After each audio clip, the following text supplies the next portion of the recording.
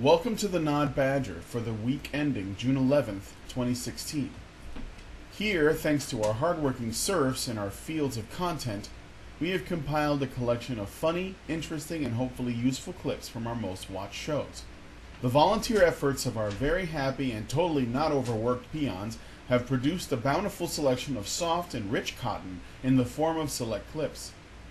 Enjoy the spoils of their hard work.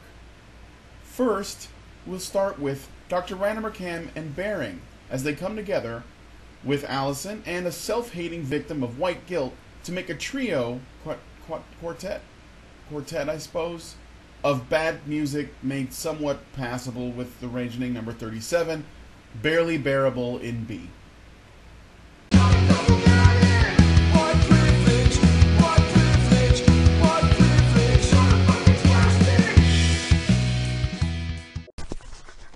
G'day, Alison. Hey, I like your hat. Good. Um, did you just say K, g'day, or gay? okay, Gay, okay, gay. okay. Okay. So this is a white privilege song by Josh is not a robot. Hi there. Hello, Josh. Yes, hello. Not a robot. Hey, Josh. Thanks for joining me today. Why were you coming apart? We're going to talk about an issue. It's an important issue. Dude, please throw in another chord. This is triggering me. And it's something we need to fix. Oh, fucking. What about D? Work it with the words. It's an important issue. See what that D's doing to your ass?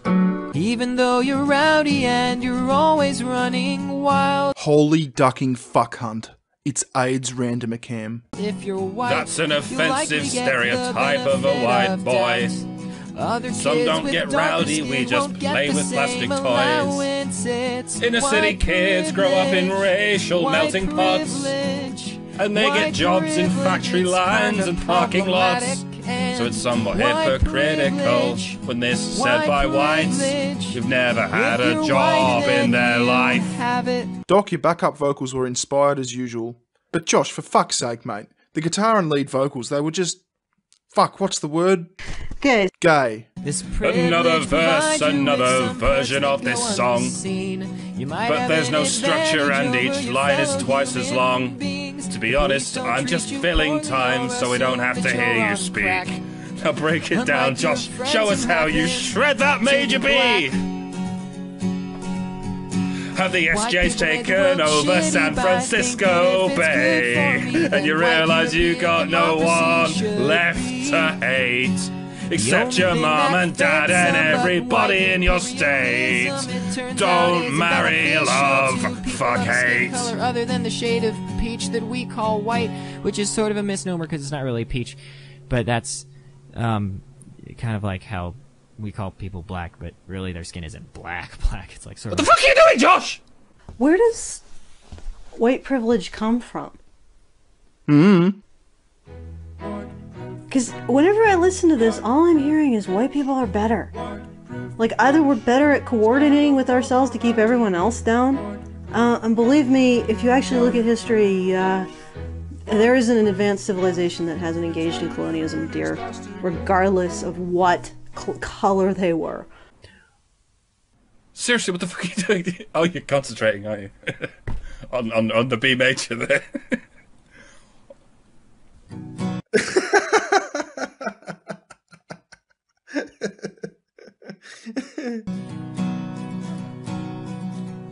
I guess that it's an ironic choice for you to have the stars and stripes across your shirt and a Union Jack on your strap. I've met some folks who are quite fond of chicken and malt liquor, who don't find that in quite the same ballpark as a swastika. It'd be good. It's a good idea. Shut up! But it's The British Empire brought an end to slavery, takes a village to while all you cunts complained about your GDP. We left a trail of booming countries in our wake. Everyone else just builds a church and blocks off trade, so it's somewhat hypocritical. when this is said by whites, whose memorabilia's made in Shanghai.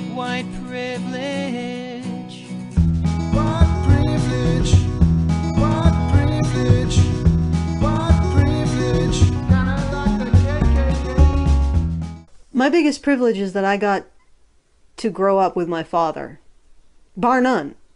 If you want to look at economic benefits, a child who gets to grow up with her father or his father is is gonna is can get themselves out of poverty or maintain um, their economic situation.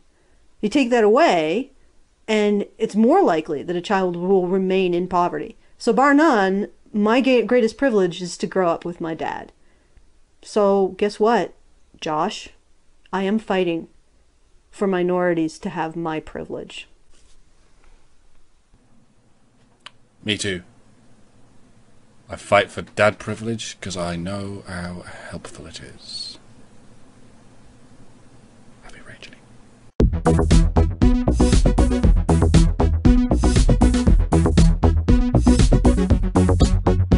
Well, it's party time and we're progressive. Problematic time because we live with this benefit of white privilege. Next up, Polecat Cast number 65. As it turns out that people who don't like the Ghostbusters apparently also want to make America great again. Last time I saw him at a rally, he said, "I don't like that new Ghostbusters movie." I can't do the Trump thing. If I, I'm going to buy it so I can fire everybody. Okay, Scott, go ahead. Oh God, this is just reaching the most absurd levels of just stupidity.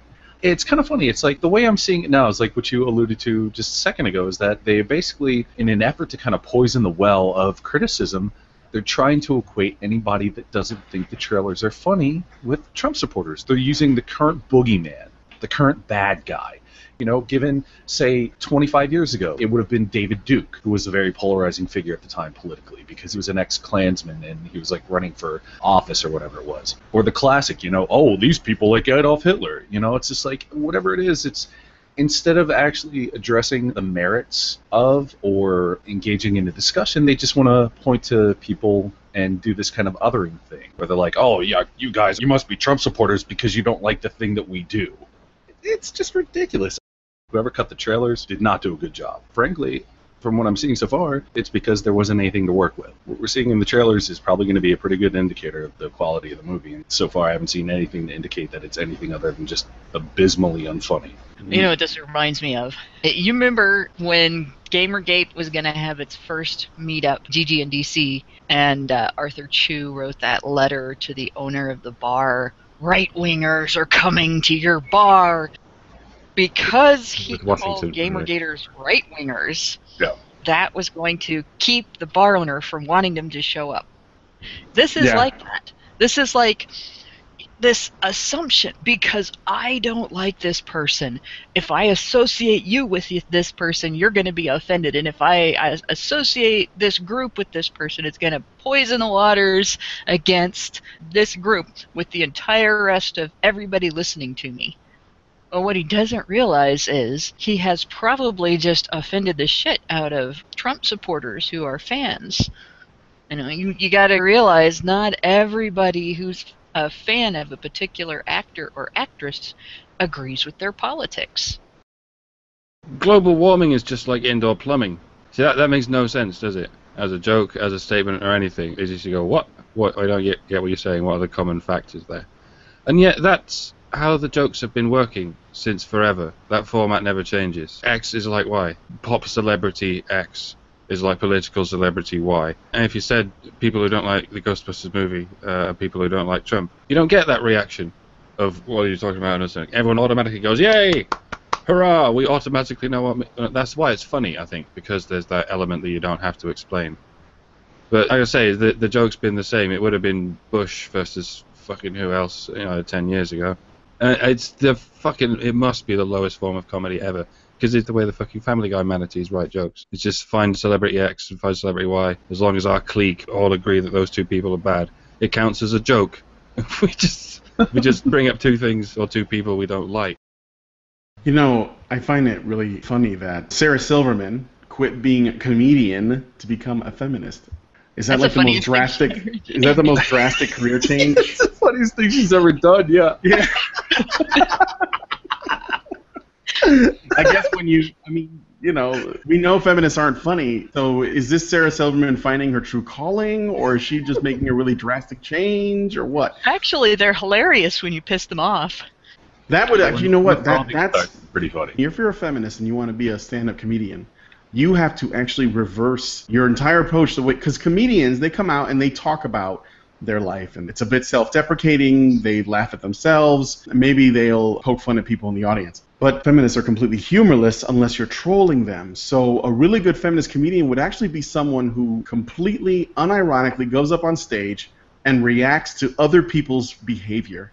That like she would have to go up there and the audience uses her as a lol cow to milk all the lulls out of.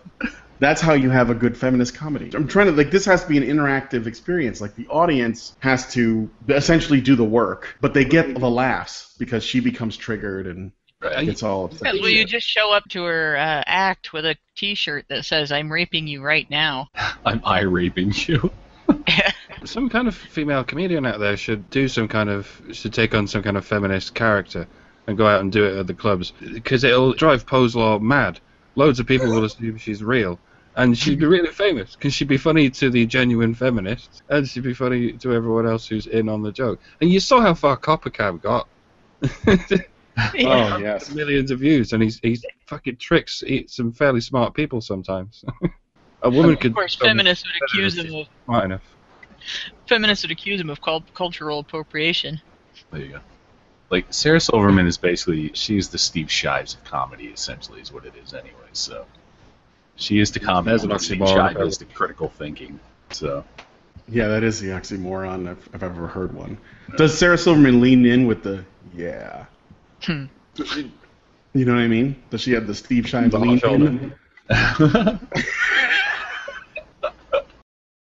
I think uh, him and Apatow are both producers on the project. Yeah, I believe that's right. That's why Apatow said that the people in the film were the funniest people on the planet. Yeah, laying it on a little bit thick there. Huh, The- the a little bit. Only this planet. Yeah, limited to this planet that we know of. Right. But I'm guessing that he's they're probably the funniest people on in the solar system. He could have just said that. They're, they're the funniest people in that particular spaceships. movie. Is what it is. Creatures like Somewhere between here and Alpha Centauri. Alpha Centauri. Melissa McCarthy, funniest woman between here and Alpha Centauri, for sure. That's so Hands down. But looks aren't everything. Oh, damn, Hannah. Real. By the way, Melissa McCarthy being somewhere between here and Alpha Centauri, there is a fat joke there, but I'm not going to tell it. yeah, it's too easy. it's too indulgent, I think is the word. You know what? The thing about memes too, I think I was like, was it Arthur Chu's bit about memes reminded me of there was this game that some social justice warrior made in uh, RPG Maker, and this is the way the social justice warriors think, by the way. But I just gotta throw this in there. There was a game that was made by some social justice warrior using an RPG maker. So they didn't really make the game so much as use another product that someone else coded to build their own story that they wanted to tell. And it was all about gamer culture and how toxic it is and sexist towards women it is. And essentially it's there's like a zombie invasion and every person you interact with is like a zombie and they're all saying, you know, they're accusing you of being a fake gamer girl because you're part of a party of girls that I guess are nerds, but they're accusing you of being fake. And they make references to Gamergate, like if you go into the dungeons and the goblins run into you and before the combat starts they'll say actually it's about, you know, ethics and games journalism or hashtag Gamergate. It's really awful. But when they get to the end and you get to the final boss, the final boss explains before you fight that this is a war of memes and that because it's a war of memes and memes can never be destroyed, you can't win. And if you actually have the battle with the boss fight, you can't win. It beats you. And then when it's over, the people in your party are like, well, I guess you can't beat an idea, so there's nothing that can be done. And when I saw that, the only thing I could think of is this is the way they think. They don't believe in what video games are, which is essentially the ability to control outcomes, to take charge and overcome obstacles. They think that ideas are indestructible, which is really stupid. You know how you beat ideas? Do you know how you can destroy them? With better ideas. That's how you do it. It's not that hard. If you don't like the memes, make better memes. How are we defining non politically correct or politically incorrect? Because, you know, these days, you could be the Dalai Lama and you can go on in an interview and say, you know, I think the immigration thing is a mistake. and people will say, the Dalai Lama is a shitlord and he is gross and racist because he has an opinion about immigration. And uh, that would be considered politically incorrect. So now we are to believe that the Dalai Lama is very politically incorrect? Or if what if the Pope went and saw the new Ghostbusters and then made a tweet and said, "Dude, don't see that shit, man. That shit is bunk." Which I'd love to see, by the way. Would people say that the Pope is politically incorrect? Absolutely. He'd be an MRA at that point. Yeah, he would. The Pope is an MRA. He should change that that that fucking hat Pope, into Pope a is fedora. fucking, he's the he's the dopest MGTOW ever. yeah, he is. It's a MGTOW for life. Oh, he puts all other MGTOW to shame. he's so MGTOW. He fucking runs a religion. He don't even think about bitches. Shit. Yeah, that's right. That's right. Okay, how we're using this politically incorrect terminology, like that phrase, it doesn't even have any meaning anymore. Because these days, being PC, un-PC just means saying something that other people don't like. It doesn't even like mean anything anymore. It just means having an opinion contrary to somebody else's. I feel better. Example. PC is cowardly, afraid to state the blunt truth for fear of offending someone. That's why Republicans think Obama won't refer to jihadists as radical Islamic terrorists, when in fact it's because he doesn't want to legitimize the idea that they represent Islam. When people blow themselves up or run around shooting up cafes and Christmas parties while saying they are doing this for the name of Islam, well, they're, technically they're saying, you know, God is good or whatever. Maybe we should be taking them at their word and looking long and hard at the form of Islam that they are talking about, even if we don't like it. To ignore what the people who are doing the killing are actually saying about themselves and their religious beliefs seems to be pretty stupid and worth making fun of to a lot of people, hence the Trump resonance. How do you propose to address the problem of the guy who blows himself up thinking he's going to be heading towards 72 virgins without talking about why the promise 72 virgins is wrong? He doesn't represent all of Islam, but he certainly represents his own version of it. Did it ever occur to you that you might be wrong and squelching what people say in the name of political correctness is therefore wrong too? Apparently not. I'm also reminded of when Francesca Ramsey did a show on her MTV Decoded about political correctness, and she referred to how political correctness is expanding the dictionary because it's adding words like microaggressions and mansplaining and uh, and stuff like that, and therefore that means it's better because we have more words now, even though those are words that are used to sh- silence people. That's what I think of when I read this article, and I think inauthentic is probably another word that you use to silence people if they're not saying the kind of things that you like. She was claiming that uh, political correctness made speech freer because it added words to the dictionary, Yeah, like And- mansplaining and and and, and it and it all turned out to be words that were used as thought terminating cliches, basically to shut people up. Yeah. people from the groups that are considered privileged. It's to silence the privileged and give voices to the voiceless, according to her. Even though the voiceless seem to have voices all over the place. Uhuru, y'all. But, um. oh, God. You know, something else that hit me from this is the example of Obama and Islam. Our country, our government, is supposed to be not either religious or secular. It is supposed to be outside of both, not imposing either one, not defining either one. And it's fundamental to our Constitution that the state doesn't define or protect or do anything to the church. And here we have our president singling out one religion to protect its PR from its black sheep. And I think it's related because this is more sort of rhetoric that's designed to support the narrative boogeyman around people like not just Donald Trump himself, but it's going to get to the point where you can just say, oh, well, Milo Yiannopoulos is a Trump supporter, therefore we don't have to listen to him, aka Judd Apatow, right? And this is to sort of like further reinforce that narrative so that you can execute guilt by association to shut people up. The basics of a human right would be you have the right to seek to feed yourself. You have the right to seek to provide for yourself.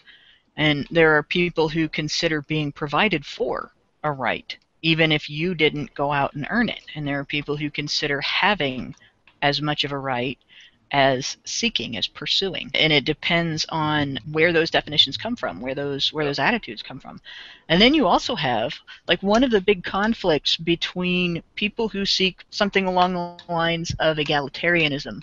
You know, people whose attitudes are more egalitarian because there's I, I don't think there are very many people who are true egalitarians because in order to be a true egalitarian you have to deny some things in biology that are just fact but to have at least a legal egalitarianism as far as legal entitlements and legal obligations versus say people who want to continue the gynocentric attitude towards society where women are not considered violent when they do things that are considered violent when men do them and, and where women's welfare is more important in a conflict between a woman and a man that conflict is going to be a very difficult one to settle because people who are gynocentric to the extent where they don't see it as violent when a woman hits a man or where they think of women as being entitled to be venerated, to be pedestalized, where women shouldn't have to face the same moral and ethical obligations as a man. They're very blind to that. And when you start talking about holding women equally accountable, to them, you're talking about hurting women. You're hating on women. You're actually a misogynist for considering a woman not entitled to defend herself against being offended using a violent act. And it's going to take a change of mentality among people toward women before those issues can actually be dealt with on a large scale. Because you're going to have to overcome the hurdle of people resisting changing the law in ways that would not accommodate their sense of protecting women's welfare. Comprising strip after strip of anti SJW caricatures, Gamergate Life obviously fits Day's ideology. I have also heard it suggested that he chose Erin Dies Alone as a dig at Alexandra Erin, who wrote a short ebook spoofing him. Beyond this, it's hard to discern the exact criteria behind his choices. One of the comics, Gunnerkrigg Court, proved controversial within Day's comment section. Gunnerkrigg Court recently gave us not one but two big, fat, awful, in your face gay lesbian subplots involving the main characters, no less. So I personally wouldn't feel comfortable recommending it anywhere these days, wrote one poster. Okay, before we move on, it says that Gamergate Life has anti SJW caricatures. Have you guys ever seen the Gamergate Life comics? Yeah. The, like, Yeah, on occasion. real ones? Yeah, on occasion. Would you consider those to be caricatures? Uh, I don't know that I've seen enough of them to form an opinion, honestly. Social Okay. justice warriors are kind of hard to caricature because they can be so exaggerated in real life. How do you exaggerate further? When something is already hyperbolic, where do you go from there? How do you create a hyperbolic spoof of, say, Trigglypuff or Big Red? How do you get more exaggerated than them? How do you exaggerate that? I don't understand. Where do you go from nuclear? Does the comic blow up in your face? You know, no, I, not that I don't read it regularly. I do, but like, honest to God, no, they're not caricatures. You can't caricature something that is a caricature of itself. Yeah, all he does is really, in most of them, he just puts out what happened that week. And he manages to come up with there's shit happening so often that he has enough material to do something multiple times a week if he wants to. Yeah, I am confused about one thing though. Is the category comics or webcomics? Web comics. Okay, so why was there a complaint then in the article about the category consisting entirely of online strips? What was the? You mean the fact that it, it existed as a category? Yeah, it sounded like the writer was complaining that all the strips were from online. Maybe Yeah, I they- misunderstood that it was not a complaint, it was just a statement, but it really did. It sounded like category entirely of online strips, you know, as a complaint. And I'm sitting here thinking, well, what else would be put in a webcomics category? Yeah, I mean there is a okay. So I'll go back and read the bit that I think you're thinking about. I think- they say after a reasonably strong set of graphic novels, the best graphic story category starts to go downhill when we arrive at the webcomics. So this person already has a low opinion of webcomics, apparently. Or they're saying that because Gamergate Life made it in as part of the category, that's where the downhill slope begins. Because the stuff before it, when it was all about a Che Guevara-like revolution, or this guy who was hanging out in Burma learning about how bigoted Americans are, that was totally cool because it's the kind of stories this person likes to see.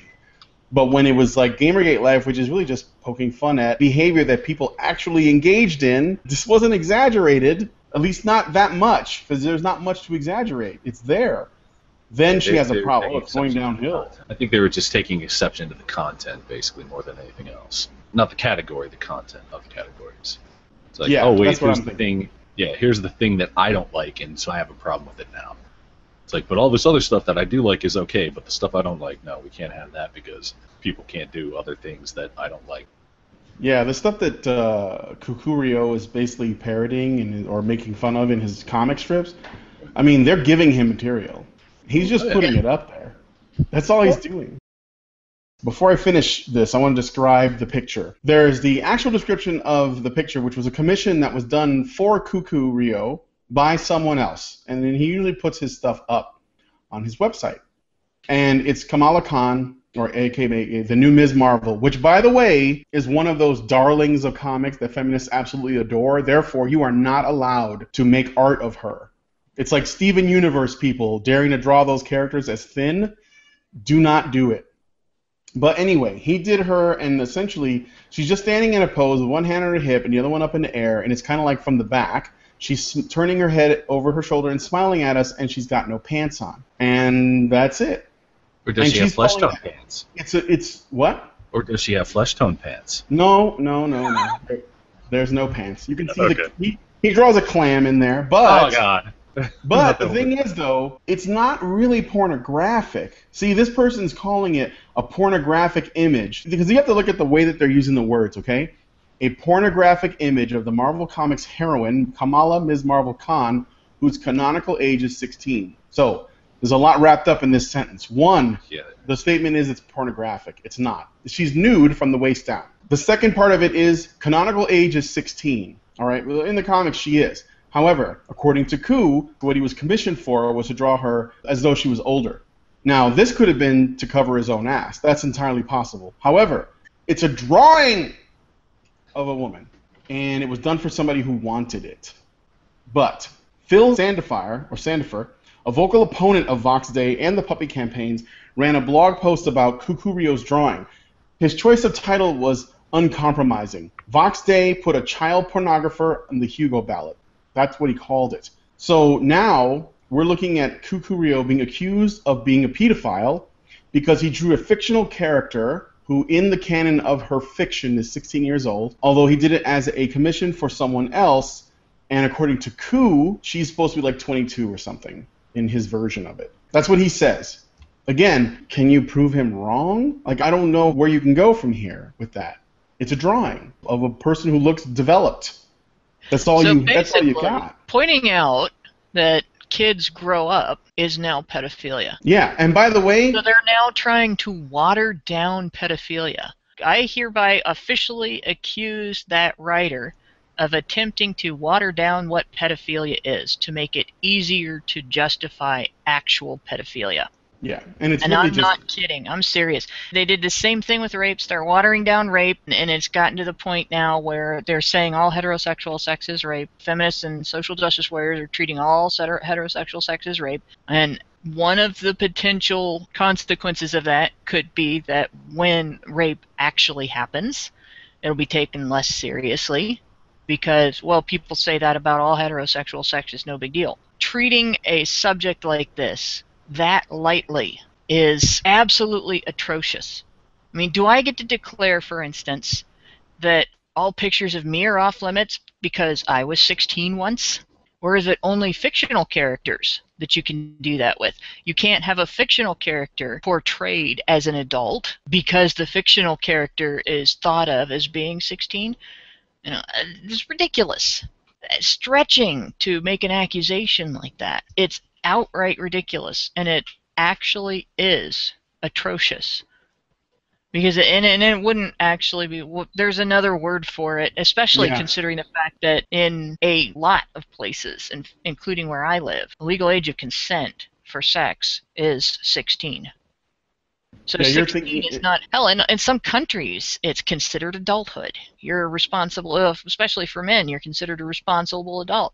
In some countries, 16 is well beyond the age at which you can have a bomb strapped to your chest and be sent into a building to blow up. It's well beyond the age at which you can have a gun shoved into your hands and be told you're now in the military.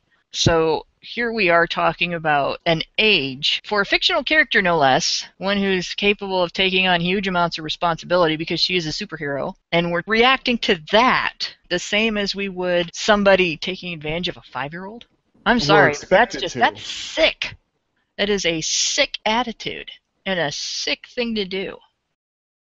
All right, so there are people that are in the chat that are saying that yes, anti-gamergate is pro-pedophile, and I don't know for sure that that's true. My belief comes from this: they're protecting people who are admitted pedophiles, but they're not doing it because they believe in what those people are doing. They're doing it because those people are on their side. Because if they found that there were pedophiles that were in Gamergate, they would expose them as bad people as soon as possible. I don't think it's about their moral stance on pedophilia. I think it's about who is the enemy and who is the ally. And we'll protect our allies no matter what they do because we want allies. And we'll throw our enemies under the bus no matter what they do because they're the enemy. That's why I don't think that they're necessarily pro or anti pedophilia. I think that it really comes down to this is our friend, we protect our friend. This is our enemy, we go after our enemy. Because if they were pro pedophile, they wouldn't be trying to accuse Ku of being a pedophile right now. They would instead either ignore it, dismiss it, diminish it, or say, you know, you shouldn't go after him for those reasons. You should go after him for these reasons. Instead, they're using it as a weapon against him. So this means that their feeling about it is irrelevant to essentially their decision about whether or not you're one of them or you're one of the other. And then that frames their whole view on you is framed around whether or not you're their friend or not. That's why I say that. And what that really makes them is hypocrites. Complete and utter hypocrites. It basically says that any moral judgment that they proclaim is bullshit because they wouldn't make the same judgment if it was somebody on their side. I encourage you guys that are listening to this, if you can think of a movie from like the 70s or 80s, or maybe even the 90s, although I don't think there are as many because 90s got pretty PC. But it's much the Um, same with song lyrics as well. Like Oh, Jim, yeah. Morrison, Jim Morrison famously, famously got in trouble for singing "Girl, We Couldn't Get Much Higher" because that wasn't allowed in the '60s to even say the word "higher" in a way that might mean drugs. You get away with it now.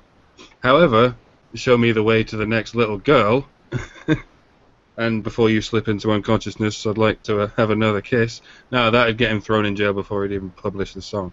Oh yeah, along with uh, "I Know You Want It" because you're a good girl. um, that would that already was like a shit. Song. Yeah, they freaked out over that. That Uh, that was bad. A song that portrays the woman as the one with the power. It says, you know, you come get me. It's up to you. Your decision, your choice. I know that's what you want to do. Come and do it. You know, basically, come at me. That offends them. Treating women like little girls, treating women like children, that doesn't offend them. But treating women as adults with agency does. Yeah, even That if they're fictional. That is a sickness of the mind. When treating women as adults with agency upsets you, and you're only not upset if female equals helpless little girl, that is a sickness of the mind. And you need help. Now we have Rantzerker number 61, where we harass, I mean criticize, Anita Sarkeesian by refuting her bad arguments regarding ones and zeros that some people might find sexy. So there's gonna be no bullshit today. None. No talking about kids. No screaming, dog, I kill you. No wittering. We go right into it. And everybody's silent, so that's good. No, that that seems to be. I mean, that doesn't seem to be directed at me. So. Okay, good. Well, You're no. not the dog we were talking about. Shut up, dog. No. I'm just brushing my teeth, so just like. Oh, for fuck's. Alright, small Thank you, amount of Karen. That was all your silliness. Let's go. That's yeah. That's your entire silliness quotient for the day. Your silliness quotient has increased from six ounces to four ounces. Apart from this bit about silliness quotients, that's also part of your silliness quotient. It's so meta. Oh my fucking god. Are we uh, okay? Th- that's it. All right, let's do this. Because we've still got 16 minutes of this shit to go through. So. Amazing. My God, look at that. Good night, nurse. Oh, that's definitely stimulating my economy. Is it, is it just me? Is it just me? Or when the chick said, oh my god, look at that, it wasn't in an admiring way. It was like, oh my god, what a fucking slut. Yeah. Uh. And you know what? I love this. These are freebies for Anita. Like she can show this shit and she can get the clicks that this shit will get, but she doesn't have to take responsibility for it. She doesn't have to take responsibility for exploiting female sexuality for clicks. If you can really say call it exploiting. I guess technically it is exploiting. Lingerie is not armor. Depends. Depends is also not armor. It's No, it depends on what you're. adult diapers. Depends on what you're fighting. Yeah, I got the joke, but it depends on what you're fighting. Joke? Like I don't know. Okay. Well, you know. Well, what's the male equivalent of lingerie? Armor. Uh, we we went through right. this fucking several feminist frequency episodes ago. The equivalent of women dressing up in lingerie to please men. The male equivalent of that is fucking dressing up in armor and killing other men to please women. Yeah, no, it's, it's like literally it's sort of that Viking uniform of like sort of the bare chest and uh, maybe some like really really awesome tattoos or something like that, like that kind of the God of War thing, right? That's a male character I could fucking get behind, or um, Yeah. Well, or get also. in front of, or you know, climb like a fire pole. You know what? Uh, to use as a reference that will make everyone groan. Hold Um, it- fire. Yes, of course. You can't Um, climb him like a fire pole. He's not shaped like a fire pole. I'll just leave that hanging. I wasn't going to. What? Can you guys Well, just? I bet his pole is shaped like a fire pole, and I'd climb. Okay, what? Uh, that's not where I was going with this. Can I just go where I'm going and then you guys can jump on and? No. No. Jesus Christ. That seems not bad. He had like hairy shoulders and everything. Yeah, but that's you know that's not too bad. I mean, it's it, It's not. It's not drawn to be aesthetically really titillating. You could have Djimon Hounsou from Blood Diamond and Gladiator and all those movies. You could have him come in here and do this, or Jason Statham, and it would be fucking hot. Be fucking fucking hot. Holy shit. I, But here's here's the here's the punchline because this is the fun one. During those scenes, he was actually you know he looked taller, he looked more groomed. Now he just looks like a freaking like like you said a muscular George Costanza. He's a George fucking Costanza with. But that that's the punchline. Like they're turning this guy into a joke. A character's clothing is one of the first things we notice. It's an important part of our first impression of who that character is, and as such, it's a way for designers to immediately communicate to players what is most important and noteworthy about them. I think that the Alright. first thing we notice is whether or not the game sucks. Yeah, probably. And I'm just doing this for the banana, and also because it's a natural uh, pause. Female heroes in video games might be special agents or soldiers or treasure hunters by trade. They often find themselves in dangerous, physically demanding situations, fighting off bad guys and saving the world. They are typically performing activities that call for practical or protective clothing. But when we look at the types of outfits that female characters are made to wear, we can Made to wear. Well, they are because they're female characters and they don't have any. The men are also made to wear in like it's an absolutely ridiculous statement when you're talking about a character that somebody has Anybody remember? designed. Anybody remember Turok? Huh, yeah. Turok Dinosaur Hunter. Wasn't he wandering around in a loincloth and those kind of those weird leggings that some Plains natives used to wear or uh, sort of uh, no not Plains natives. You know like he, he was walking around with no shirt on his chest bare shooting dinosaurs with arrows and shit. And uh, Yeah. his body was on display You have to wonder how often. died because or when he came back to life. It was when he came back to life and he was like I am Turok and he like rose up and his like his back was all arched and it was like oh yeah Go ahead, Mike. It, you have to wonder how many times they do games like Turok where where it's where it's not from eye view, it's from just behind the character, so you're constantly following a half naked dude and looking at his ass. How many times that makes it to the testing stage, and it gets lots of people saying, ah, "Oh, I, I'm sick of staring at this guy's ass. I feel gay." so they change it by the time it gets to the publishing stage. So people complain when there's half naked men, but then when they do it with women, no one complains. So who's being discriminated against here? W- Fictional male characters, it would seem. it's I'm just Half-naked I'm not bothered ass. by that, but Anita, you got it upside down again. Yeah, that's like it comes back to my original question: Is the problem that we do it to women or that we don't do it to men? In my opinion, I think we should have more expression. Bring on the half-naked man ass. More ass, not less. It's a good thing this isn't meant to be realistic. In a game where you're fighting with magic swords and you're fighting against the undead and demons and stuff. Well, let's not, uh, you know, get too crazy with the fashion because we don't want to be too far off the mark in terms of realism. Yeah, You know for all we know, she could be wearing like invisible armor. We don't know anything. All, the thing is, this is the thing. If if Anita was the one that we got that, that got to decide what is considered practical, because feminists are always doing this shit. They do it in comic books, they do it in film, they do it in video games. They're always thinking that the armor has to be practical, and they only do it when it comes to the women. And the fact is, if we were to try to figure out what it is they wanted, everyone would look the same, and it would be boring as shit. This is artistic license. Yes, Ivy is intended to be sexy. Ivy, the character, sees herself that way too. That's part of her appeal.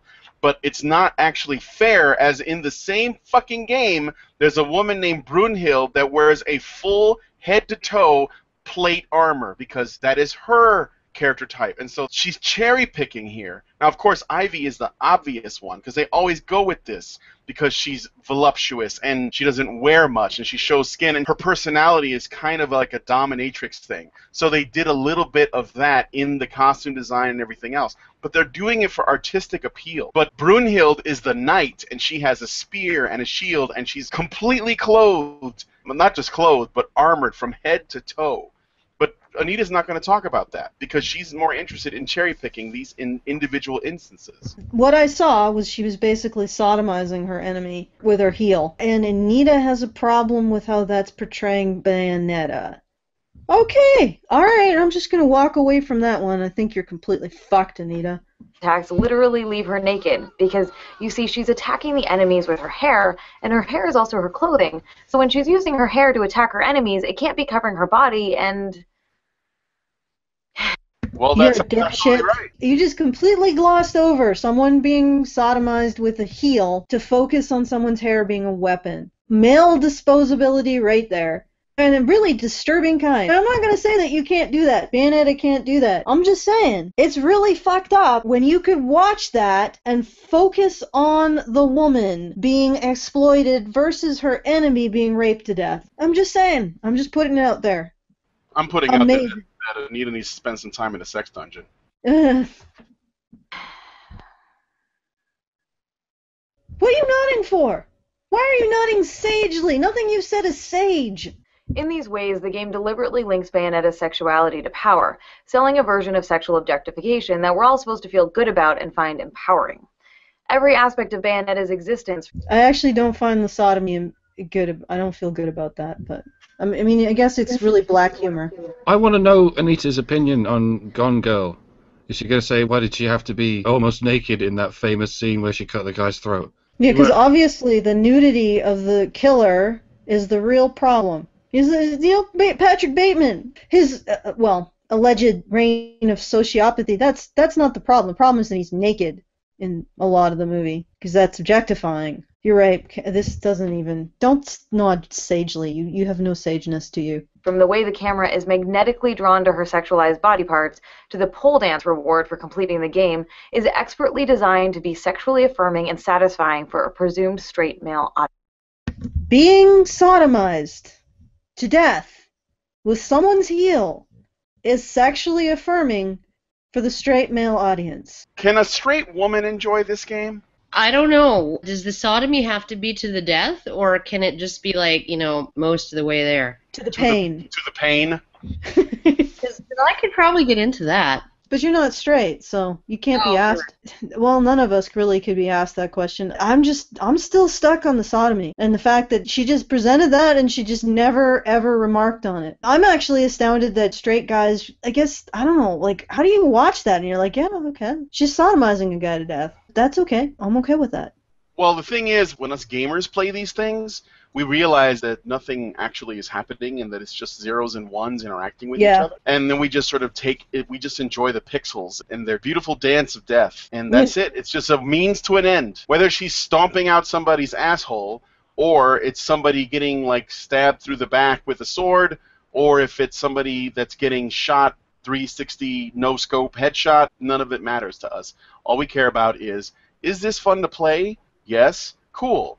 No. Okay. I'm not buying it. Women can't be powerful and sexy. Feminists tell us that. Whenever a woman is sexy, she's solely a sex object. Feminists tell us everybody else does that, except it seems more like feminists are the ones who do that.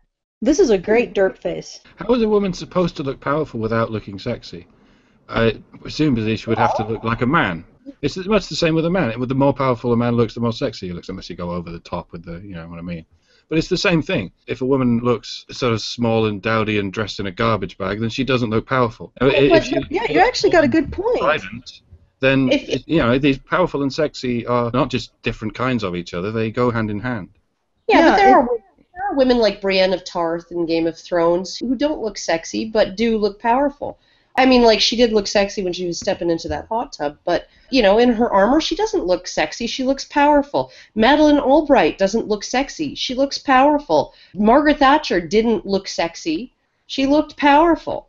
The Pope doesn't look sexy. He looks powerful. I think what uh, Roger McCam is not saying that it's an absolute law that sexy is, you know, powerful is sexy. He's saying that it's really hard to look powerless and like there's a middle ground. There's a bell curve. At some point, you stop having that sort of primal I can get shit done You- you can look- sexiness. You can look powerful without looking sexy, but it's hard to look sexy without looking powerful.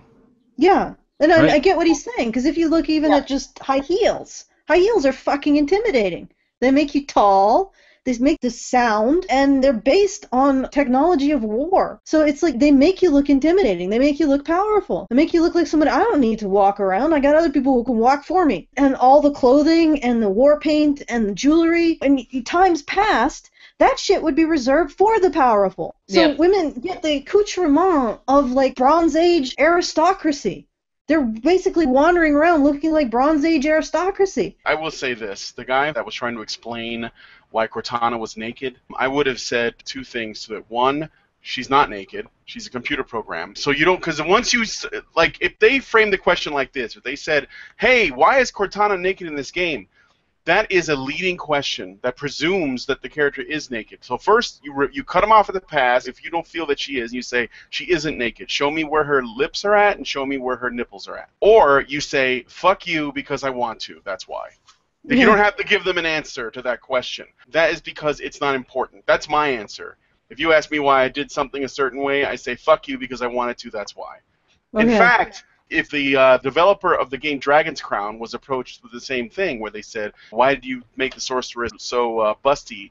and the Amazon have such a big ass or whatever, and they both wearing so little clothing. And he responded in a way that is precious to me, where he said, Well, if you're into dwarves, here's a bunch of shirtless dwarf images. That was basically his way of saying, Fuck you, I wanted to, that's why. I don't need a hmm. reason. Let's imagine. Okay, all right. So we got some scenarios here. We got the male character, and he walks into a bar. And let's imagine he has to do something in order to attract a woman at the bar. That's wrong because then she's a reward. Let's say he has to walk up to her and talk to her to get to know her, and then they have sex. Well, that's wrong because it's also a situation where it's a reward. But if he walks into the bar and the female character hits on him and says, "Let's go have sex," that's also wrong because the creator is forcing her to do that.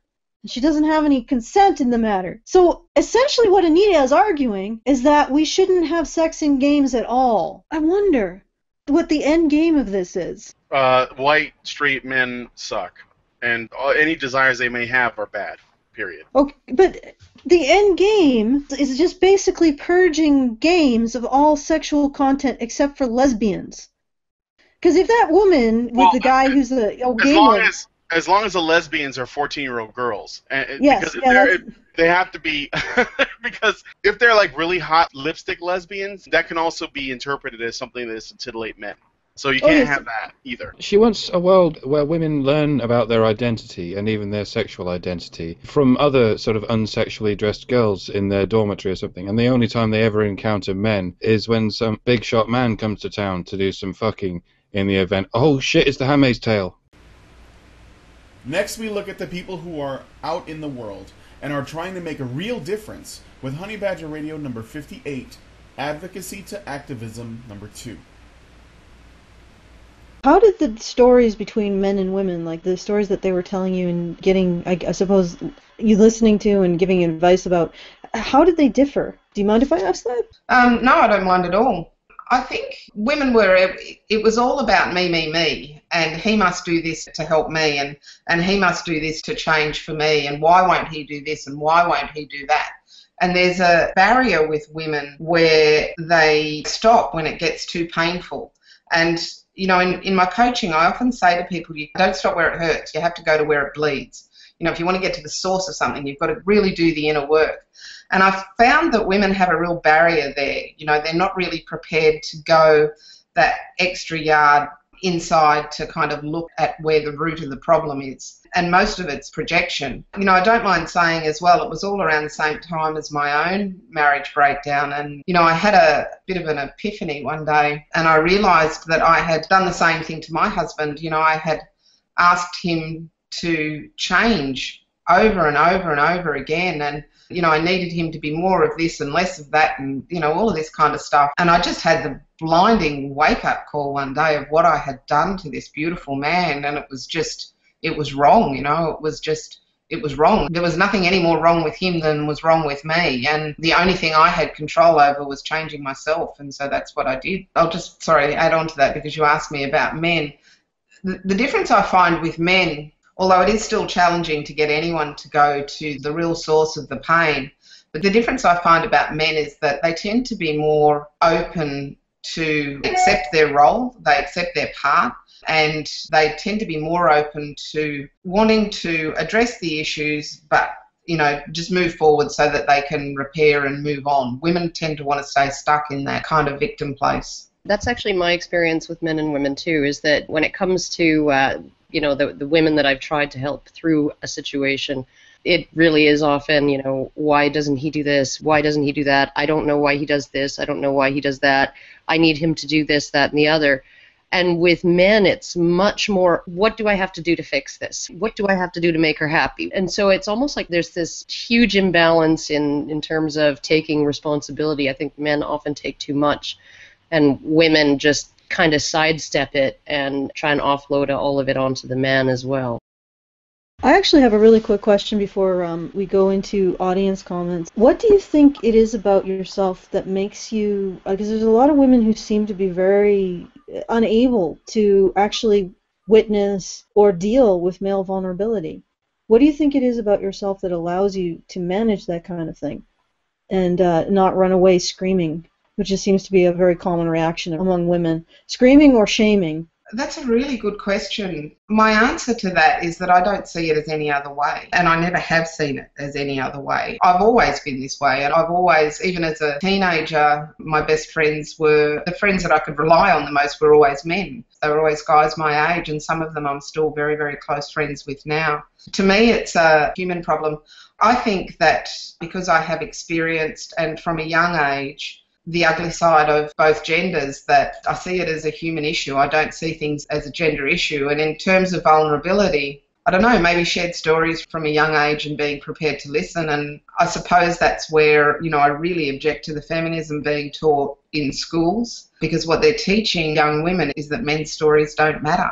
And, you know, I think that time, you know, my teenage years were pretty tough for me. And I think that was probably when I was most open to developing the mindset that I have now, and I, I'm terrified to think that our schools are indoctrinating young girls to speak over the top of boys and for boys to be silenced in that process.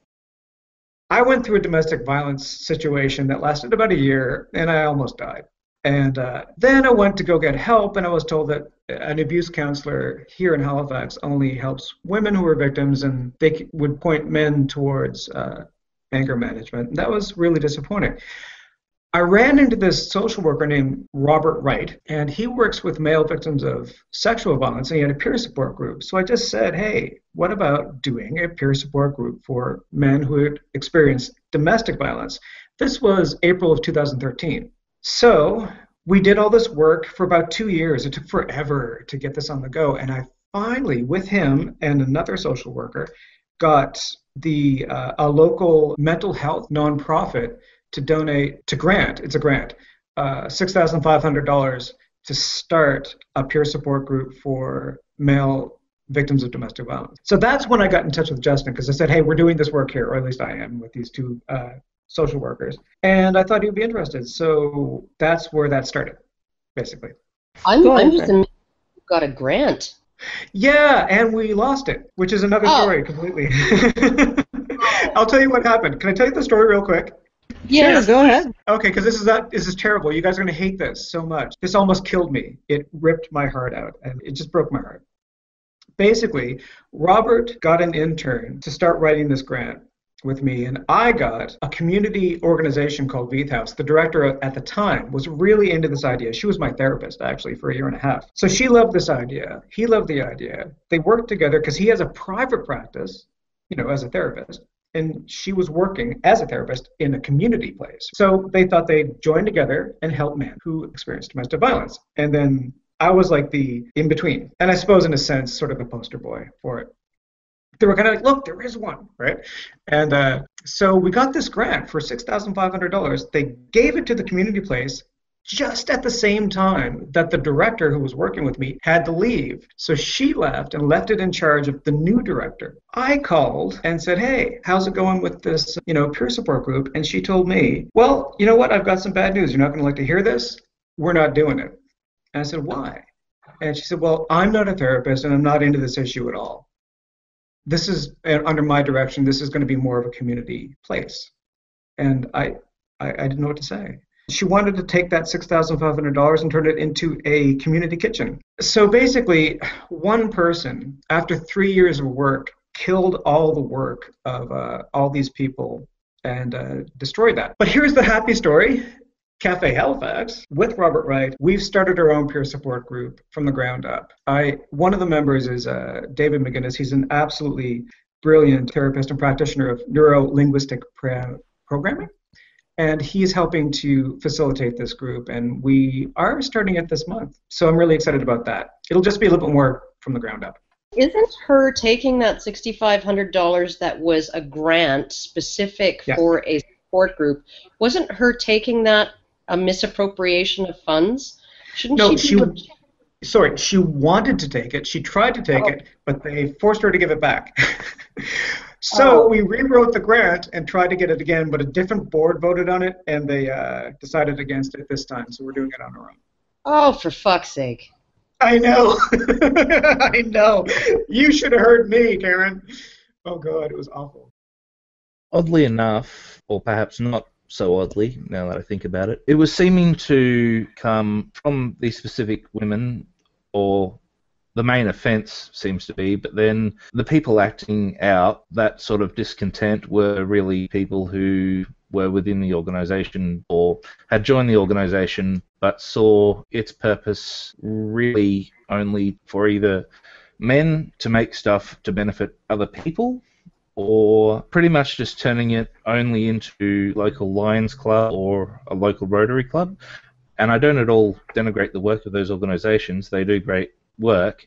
It's just that I really think if, if somebody wants to start any of those clubs, will go actually do that. Um, and you those know, I think clubs are those clubs are for men who are not in crisis or not having problems that they need help with to help other people. That that's what the Rotary Club is for. It's not a place for men who are having difficulties to find some kind of help with that. Those are charitable organizations. Like this is a charitable organization for men, not a charitable organization by men exactly. Other people. Like what the it literally is this.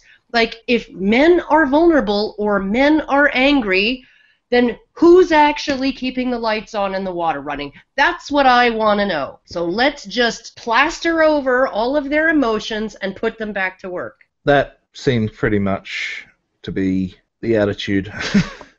unfortunately. Okay, Jasmine, get in there and get your thoughts.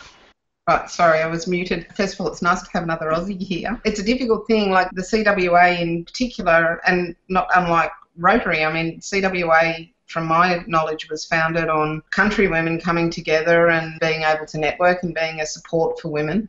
And it was as much, I mean, I remember going to the CWA hall here as a little child, and, you know, all the women were cooking and doing things and talking and sharing their stories. And, you know, in that essence, women were working alongside each other and supporting each other and supporting the community. Most of what they did was for the good of the community. For them to deny that opportunity for men, I think, is quite abhorrent when it comes to men's sheds here in Canberra, there was a bit of a debate just recently that because women are wanting to join into men's shed because they see it as a therapeutic situation and they don't want to be denied access to something that's working for men. And I personally am against that. I think Men's Shed is one of the few things that actually works really well for men. It's one of the few things that we do. It's probably the only thing that we do in Australia in their own space and, and work alongside each other. And it is very much that philosophy of working shoulder to shoulder. I think that the broader issue here is just the denial of being able to appreciate and respect that for women and absolutely ban it for men. And uh, Keith, I can understand your struggle. If it's one person in that organisation that's against it, they're going to have a very vocal voice and they're going to be very dogmatic and dictatorial and they're, they're not going to allow anything to be spoken about. But I applaud you for even giving it a shot. Yeah, I definitely still intend to set something up in the local area. I've just got to look at some other way to get some sort of base funding because there's the men's sheds. I could still just go start another one down the road if need be, and the funding is available up to sixty thousand dollars. But I've got to find at least a third of that myself, which is basically the question at hand: where in the world would I find that kind of money? Good grief. And then and then they're like, why don't you do anything? Like, why don't you MRAs actually do any activism? Why don't you ever do anything to actually help men? That's the new feminist criticism of MRAs. It used to be you just want to hurt women. Now it's like, well, all you do is complain about feminism. You don't actually do anything to help men. Well, you know, I was literally amazed. I was blown away that Mel was able to get sixty-five hundred dollars from the system. That is like more than any other men's group has ever gotten from a bureaucracy in this country. Earl Silverman, who ran a domestic violence shelter for two years and a crisis line for 20 years for men, got a single one time grant of $800. That's all he got out of the government. And everything else was out of his own pocket and through private donations. And I was amazed. It was like a miracle. $6,500, Mal. $6,500! And then it got taken away. But that's the kind of budget that we're working with. Meanwhile, the average director of a domestic violence shelter for women in Alberta is $157,000 a year. That's her salary. I had the idea for this, let's see, about four years ago. After I got out of, out of my relationship, I was in big trouble. I mean, I was all over the place. I went into a terrible downward spiral. I had massive PTSD and anxiety and depression, and for some strange reason, complicated grief. And I was trying desperately to get some help. And when I had that experience of being told, actually, at this office, we can't help you. Sorry, buddy, you're on your own. It killed me, you know? So I just don't want anybody else to have to go through that. I just can't stand it. I can't stand the idea, right? So I think that's really where I don't know if you can call it activism or advocacy, but that's for me. It's like okay, let me give you an example. I've been talking to victim services for a long time, and uh, the head of victim services, Dr. Verona Singer, is wonderful. She told me the 10-year average of people who call in for domestic violence complaints over that 10 years, and this is in Halifax, which is a city of about 300,000. 65% on average who call into victim services are women, and 35% are men.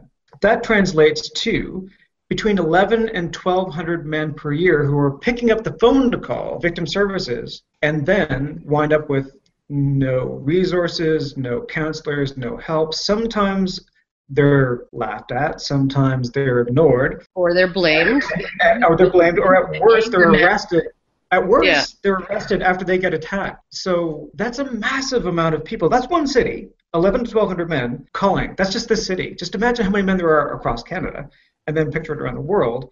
This is a huge problem, and what I'm trying to do is make sure that we have to have all hands on deck to solve the problem of domestic violence. And you cannot do that if you're only looking at a certain portion of it and only helping a small portion of those people who are experiencing it. So, how do we make that change? I think video is incredibly powerful. I think there is nothing more powerful I could possibly do to get this on the go. So, I just wanted to get the word out there, which is fantastic about this that we are working really hard. The guys at Cafe are helping, and we have started to look at it as a broader project. The documentary is going to launch. There's a Facebook group called Male Tears No More on Facebook, and uh, that's an open group for people to come share their stories because I want to expand the narrative space on domestic violence by giving a bigger place for uh, men to share their stories. And by having this Facebook group, that's one extension. We're put, setting up a Twitter account at maletearsnomore.com, and we're doing a, uh, a website, a full-on website, and of course we're doing the documentary. So it's all integrated, and I hope it expands out into bringing this into the broader consciousness. Because what you have to do is you have to plant a seed and make that change happen. So basically, I want to encourage men to come forward and tell their stories and know that it's okay that they're not alone. And um, I was really surprised, and I know this is going to sound silly of me to say, but a lot of people have said, oh man, it's so courageous of you to tell your story. Like when I do talk about the horrible violence that happened to me and what it was like. And I'm like, no, it's not that courageous. I was fucking desperate. I was like, it fix me. and I just couldn't stop talking about it because I was so fucked up. So I guess I realized that all the men and women that I've talked to ever about domestic violence, anybody who's ever experienced it, they always get it as soon as you talk about it in a realistic way and in a way that expresses, man, I've been there.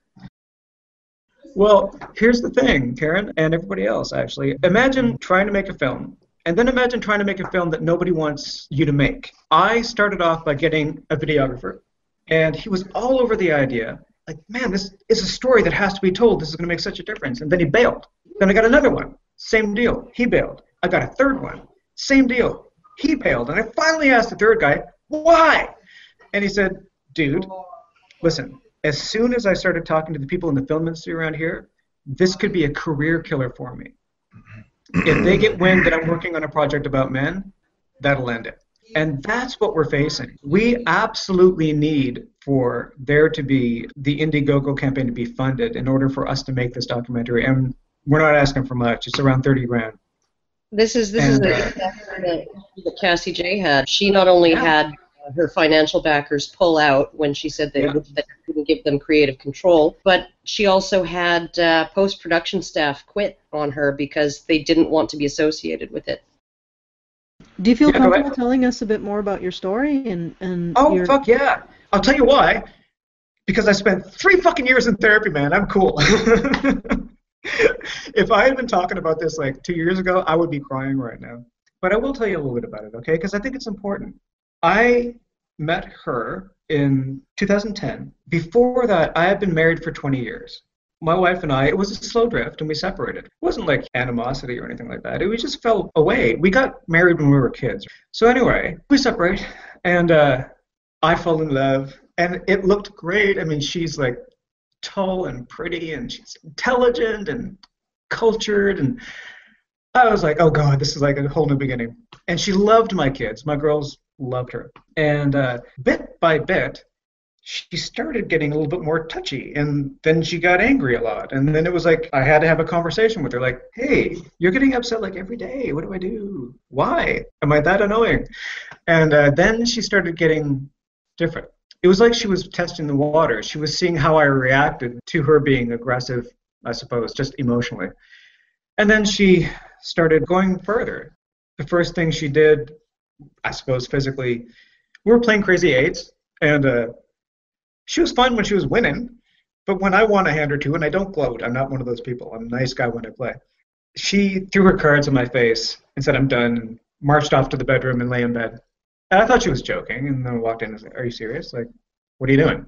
The next time we were playing Crazy Eights, this was like a week or two later, we were at my apartment, and the same thing happened, except this time she did the thing where she puts her jacket on and she puts her purse on and then she starts to walk down the stairs. And I'm like, You've got to be kidding me. Are you really leaving over a game of cards? Seriously?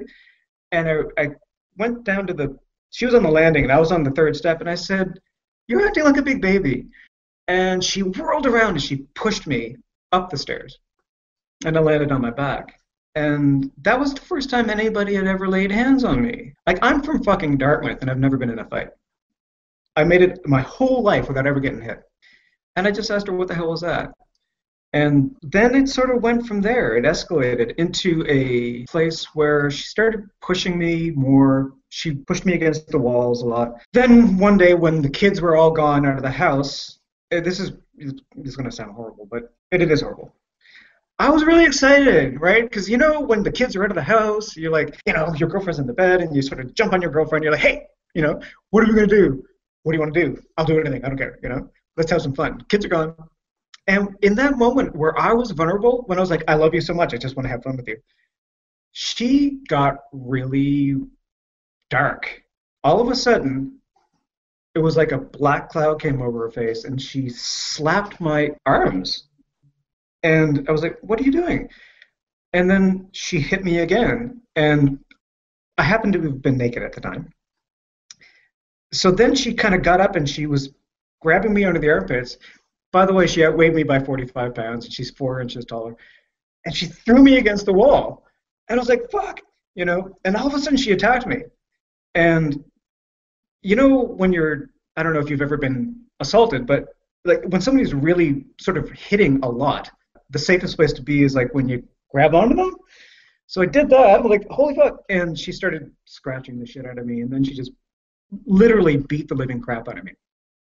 And uh, that that was like the first time it got to the place of absolute, a full on, I'm going to die kind of violent attack. And it sort of progressed from there. I'll just make this short. She went through a deeper and deeper cycle of violence or cycle of abuse.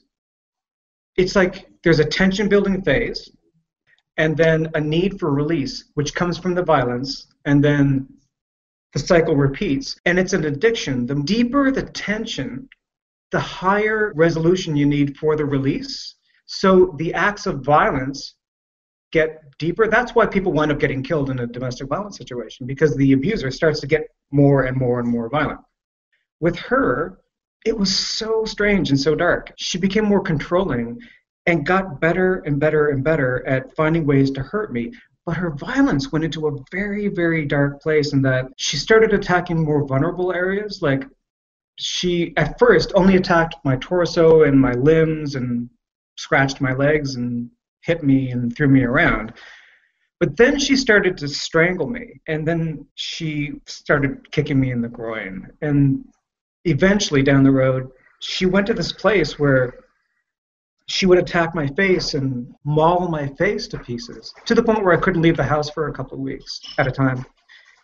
And if you can understand that kind of violence, when you get to a person's face, I mean, serial killers who kill somebody and then they like stab their face, that's messed up. That's like the destruction of the total self type of thing. And by the end of it, she was also more and more controlling. She took away the phone, she took away my phone, she kept me in the basement. She took away my clothes. She took away my glasses. It got horrible. So that's basically that in a nutshell. And then I finally got out of there with the help of a transgendered, female to male, 19 year old crusty punk kid who actually got my ass out of there. So yeah, that's part of the story too. Thank God he was a witness because he saw what happened to me all through that year, and then uh, he saw her have a psychological mental breakdown, a dissociative state, and then he actually got me out of there and uh, he was with me through the entire healing journey as well. And he's part of the documentary. He was the first person to film the beginning of it.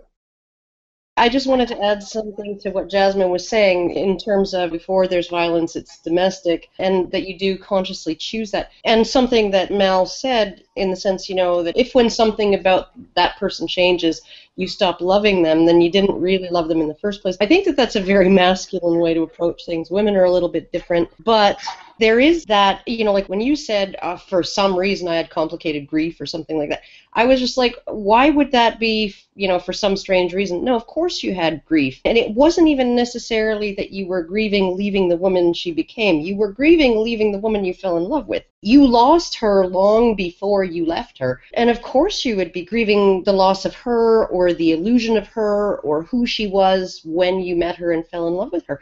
And this is one of the things that really strikes me about men is that even when you look at the length of time that it takes to get over the breakdown of a relationship, for women it's an average of like something like two months before they're ready to start dating again.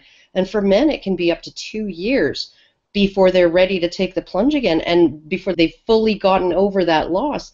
And I think that that speaks to a different way that maybe men attach to women versus how women attach to men. And that somebody, that a man could say, well, just because she became a violent psycho doesn't mean I stop loving her, right? You know, like that really speaks to how men love. And the very fact that you can have sort of this feminist mythology that men are incapable of love, that they're incapable of attachments, that they're incapable of this sort of deeper empathy, when women are the ones who seem to be more able to just cut a relationship off and not just cut it off, but then want to expunge the man from their lives. This is something that women do more than men is, you know, they take the kids and they cut the man off of access because they don't want to make awkward conversation 5 minutes every weekend with him. They don't eh, that's an inconvenience to them. They want him out, gone, like completely expunged from their lives. And so it's just I just thought that that was something that and I think maybe this is largely why men don't report. It's not necessarily because they're ashamed. It's not necessarily because they feel like they have no help. I think a lot of the time it's because they actually love the woman that they're with and they don't want her to go to jail. They don't want her to be in trouble. They don't want her to be harmed. They just want her to stop. Next, let's take a look at a few letters from the mailbag with our clips from Top Kek Topics number four, Doge Guevara. Just to throw it in there, the average Facebook user now has about 338 friends. The median number is quite a bit lower, it's about 200. I think that where that comes from is there are people who value their personal worth on the number of friends they have. So they add as many people as they can, even though they're not going to actually keep track of them. And they're not really Yeah. friends. They're more like people they met once, you know, in passing. Yeah. So Yeah, so the the median is probably more of an indication of how many relationships you can really maintain to some degree, at least with the communication systems that we have available to us at the moment. Because, you know, each one has its limitations. Verbally, you know, you can only really feel like you belong to someone who speaks the same language. Now we have visually, so we can all feel like we belong to people who are uh, under the same symbol, I suppose. But yeah, overpopulation is bad. I'm not sure what I'm supposed to read into this if, correct me if I'm wrong, but a lot of the reason why MGTOW is going MGTOW is because it's completely untenable now for a lot of men to have a pair bond and deal with the kind of crap that they're expected to deal with in a pair bond with a woman. Essentially, the government has made it too expensive to marry women because of all of the stupid laws, uh, the alimony, the domestic violence, and for a man who wants children, I'd imagine it'd be extremely stressful to run the gamut of potentially losing your children if your increasingly fickle generations of women decide that you don't do it for them anymore. So it seems like MGTOW is more of a response to the way that government is structuring pair bonding now.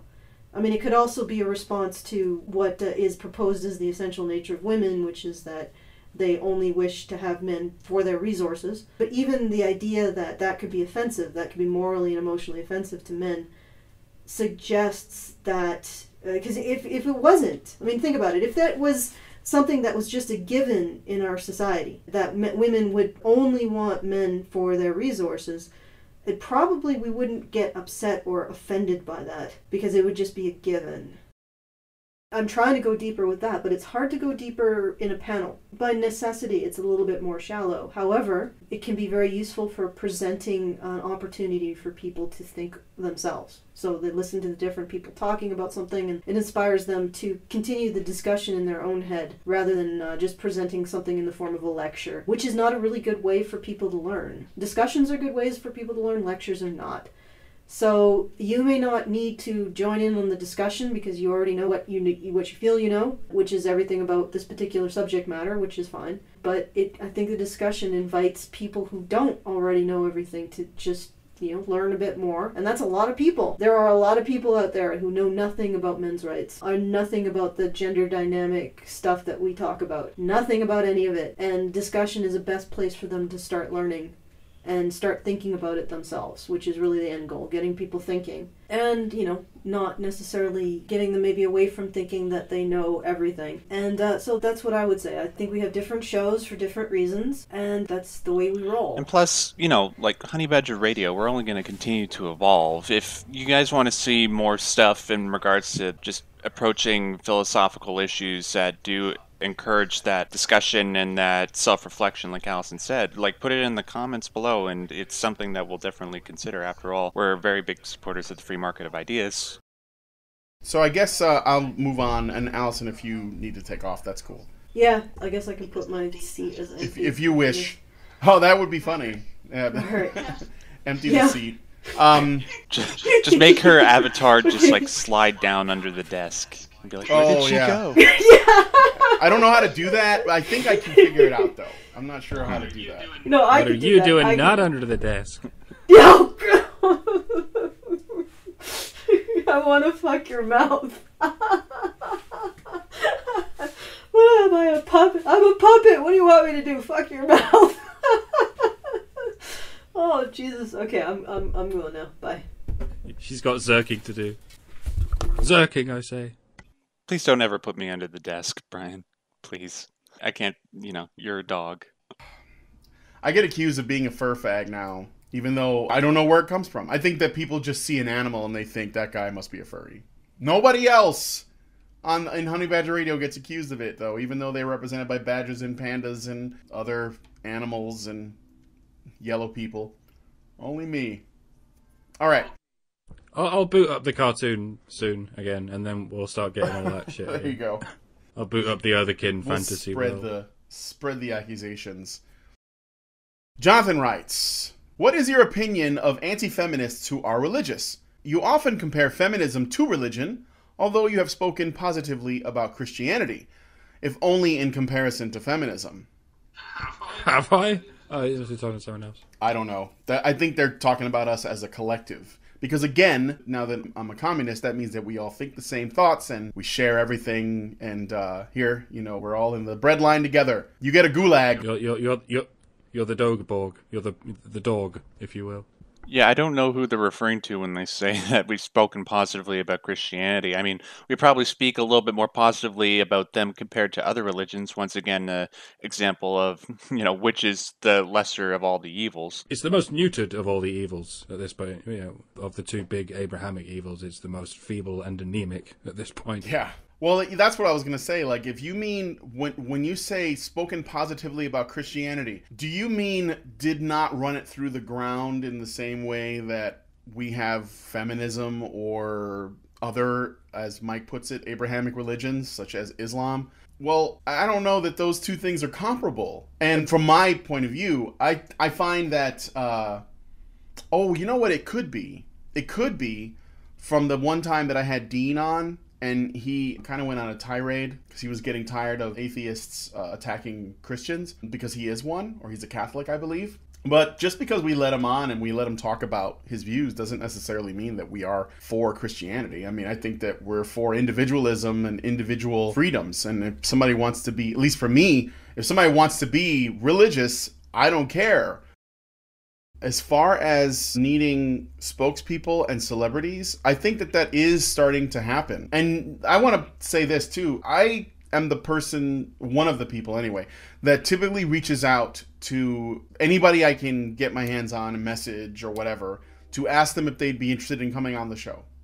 To ask them if they would like to come on for a fireside chat. To ask them if they know who we are at Honey Badger Radio.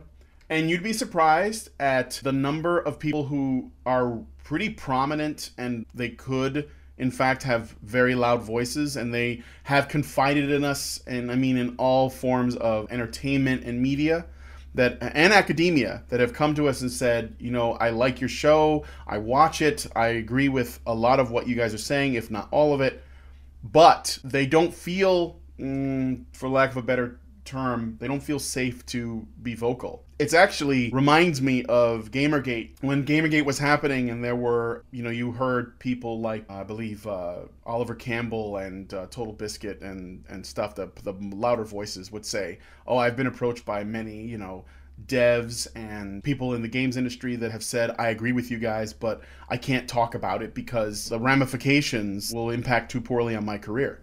And I've had that happen too, where people have come to me and said, I watch your show and I'd be really surprised at who it is. And then they say, but you know, I have mouths to feed, and if I came forward, it would, it, I could lose my job. So uh, it's just a matter of getting to the point where we have enough people fighting against it that those that have like the ability to get a larger larger audience will come forward and speak out. Yeah, it starts with no one talking about it, and it ends with almost everyone talking about it. And what what would the intermediate stage look like? It it look like this. it looked like people being in this halfway house where they're sort of half acknowledging it. Maybe a few years from now they'll be three quarters acknowledging it. Yeah. That's ex- patience. Empires are built on the backs of the guilty. If you leave humans to their own devices, they will build things voluntarily. But if you force them to build things using artificial guilt, they will build things much faster than they would voluntarily. So, anthropically speaking, the civilizations which run on guilt will outmatch and outnumber the civilizations who run on volunteerism. And they have. Completely. The guilt on which this empire has been running for thousands of years is men's guilt. men's rear, if you will. And for most of our history, the men we demonized mostly were the men over there, the men far away or the men long ago. Because we were still in competition with the men over there, for one thing. But we're overgrown now with first world problems. There's no worthy enemy left for this empire. So what we should be doing is dropping the threat narrative, dropping the guilt engine that got us here. But we can't. We're addicted to it because it got us here. We're addicted to male guilt. And so we're doing it to our own men, as well as instead of not doing it to the other men, we're just doing it to our own men as well. And this is an unwinnable war. We're stuck in a war against ourselves. We haven't figured out how to declare peace in this context. So we're declaring war and calling it peace. We're taking freedoms away and pretending it's for the sake of freedom. I like to think that we're, you know, Honey Badger Radio and the like, trying to operate as peacemakers or something, and not the blessed ones in the Bible. We're, we're not the meek, we're the geeks. Lastly, we will speak with Mike Buchanan, who is fighting for the rights of men and boys in the UK, with Fireside Chat number 36.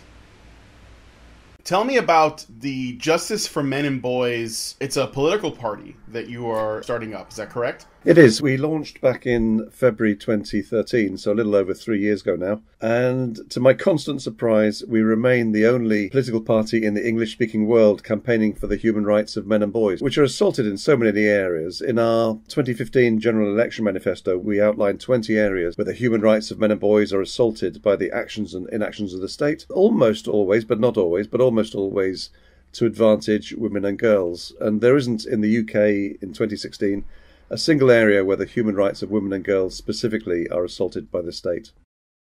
The major parties are almost universally anti male. The only exception, I mean, if you look at the House of Commons, we have 650 MPs, and there is only one MP who ever talks out on men's or boys' issues. His name's Philip Davies, and he'll be speaking at the conference in London, I'm very pleased to say, on the justice uh, gender gap. And he first came to people's notice when you know as, as a, the debacle with Jess Phillips. Well, yes, no, no, no. He, well, he first came to people's attention three or four years before that. He's a Conservative MP, and he was outraged because he kept on hearing that women are very badly done by in the criminal justice system in terms of sentencing and so on. So, um, being an independent kind of guy, independent minded kind of guy, he looked into it and he found the truth was the exact opposite. Men are far more harshly treated by the criminal justice system in you know in just every respect. Um, there was a piece by William Collins, who's just an extraordinary British blogger, and he calculated that in the UK, if men were sentenced with the same leniency as women, five out of six men in British prisons wouldn't be there. Wow. And it's a similar situation, I think, in the States. I've seen some analysis in the States which shows, you know, so men are more readily sentenced to prison, they serve longer sentences, and the whole shooting match. The current Prime Minister, David Cameron, is a feminist. I mean, he, he might deny it on occasion, but uh, everything he does kind of points in that points in that direction. Mm.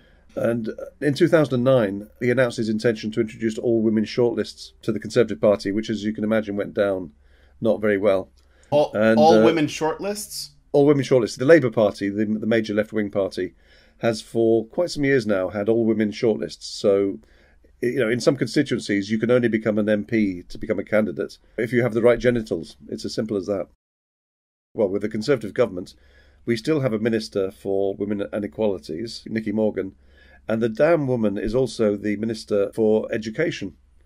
And here we've had in the UK a war on boys and young men for almost 30 years. And the Department for Education doesn't give a damn. It's part of the problem. It's not part of the solution. They do not recognise the underachievement of, males as anything to worry about, anything to invest in. They are utterly disinterested in the issue. We have in the UK a male female suicide differential of 3.5 to 1. It's more than doubled in 30 years.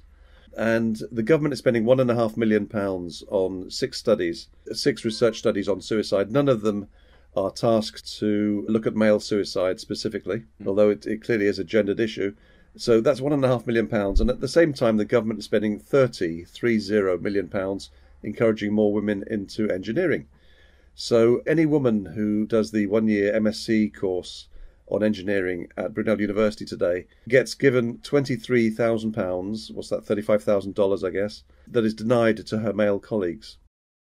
We almost never hear from feminists, interestingly enough. I mean, every month we produce or hand out a uh, Lying Feminist of the Month award and um, Toxic Feminist of the Month awards and, and so on. But the mainstream media never pick up on this. So here we have, you know, major prominent feminists and we have a, you know, our political party saying this woman lied. You know, but the media never pick up on it. It's really quite extraordinary. They sort of leave us alone and hope we'll go away. You know, in the 20 areas that we refer to in our manifesto, probably 17 or 18 of those areas, feminists have made the world worse for men and boys. And that's acting through the state. Hmm. And it's the reason we're probably spending less time than we used to on attacking feminism and spending more time on practical things. The easiest battle against feminism is to frustrate it politically. And I think that's just a small challenge in comparison with the, if you like, the cultural narrative challenge, as, as important as that is. Could you talk a little bit about the books? Sure. The first one was inspired by uh, David Cameron's decision, as uh, I mentioned earlier, to uh, or his wish to introduce all women shortlists. So that was called David and Goliath. uh, David Cameron, heir to Harman. And it was a part of a slow awakening to just how evil radical feminism was. And I wrote a book after that. I spent 30 years as a business executive, and I was sick to death of hearing about the glass ceiling, which to me is just nonsensical. In 30 years, I never saw any evidence of anything like it. If anything, women were preferenced in recruitment and uh, promotional terms. And uh, my last book, which is selling quite well, I'm pleased to say, is uh, Feminism the Ugly Truth. and it's going very well. It was published as an ebook um, in 2012, and I updated it slightly and published it as a paperback just a few months ago, but it's selling nicely. Yes. Well, it's good. I'd rather talk, if I may, about the BBC in general. Yeah. Why don't you tell us about the BBC Um, in general? You have a beef with them? Oh, oh my God! Do I have a beef? Yeah, they are just appalling. But you know, they are the state broadcaster, so you would expect them to follow what their political masters demand. Whether you know, it tends to be very left wing, but for all that, but no, they are truly astonishing. We had about, um, we've probably had over hundred appearances on BBC radio or TV. But they're almost always limited to fairly small issues. So, for example, tomorrow morning I'll be speaking on um, BBC Radio Scotland about a decision by Muirfield Golf Course to continue refusing women members. So it's kind of like, you know, yes, it's kind of a fairly interesting little story, but it's, No. it's not too big. But if you compare us with, uh, you know, their behaviour towards us at the general election was particularly vile. We only had two candidates, myself and a guy called Ray Barry. Now, the BBC run radio husting in the week or two before the general election. Ray Barry wasn't even informed of the hustings in his constituency. It, you know, he only learnt about it the next day. And in my case, they informed me a day or two beforehand that they'd invited an all-female audience who would be asking mainly questions about women's issues. Fairly astonishing, I think. I mean, I was up against the Shadow Minister for Women and Equalities, but they were totally shameless. So whenever the microphone was near me, I would take the opportunity to raise a men's issue, such as, I don't know, male genital mutilation, for example. And the microphone quickly disappeared. But, you know, whenever they do any gendered issues, any programs, it is always feminist friendly. And they'll present um, people like Roosh V as being sort of mainstream MRAs. It's incredibly cynical. But the other thing I wanted to mention was the Women's Equality Party. Now, isn't that isn't that just a wonderful title, Women's Equality? And so, of course, you know there are no areas in which women are disadvantaged in uh, women and girls in the UK. So, of course, what else could they be after but more privileging? And of course, that's exactly what they're going for. We hope you enjoyed this clip show. If there was a clip from these shows that you think we should have shown, please leave a comment on the video and include a timestamp, for God's sakes. Thank you and Badger on.